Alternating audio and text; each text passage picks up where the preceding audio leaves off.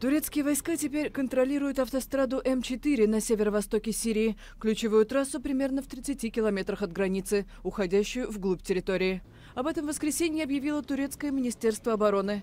На пятый день операции Анкары против курдских формирований, поддержавшие наступление группы сирийских повстанцев, заняли приграничный город Эттель-Эль-Абад. Ранее президент Турции Реджеп Таип Эрдоган объявил об установлении контроля над другим стратегически важным городом – Рас-Эль-Айном.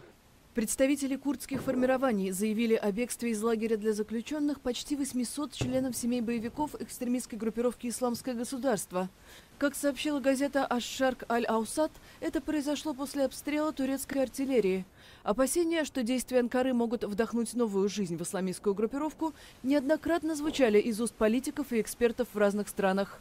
Пентагон в воскресенье сообщил о выводе из региона еще тысячи военнослужащих США.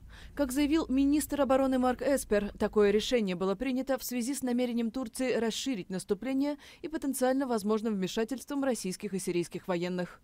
Анкара утверждает, что цель операции против курдских формирований, которые Турция считает террористическими, создание безопасной зоны глубиной в 30 километров, куда после зачистки смогут вернуться сирийские беженцы.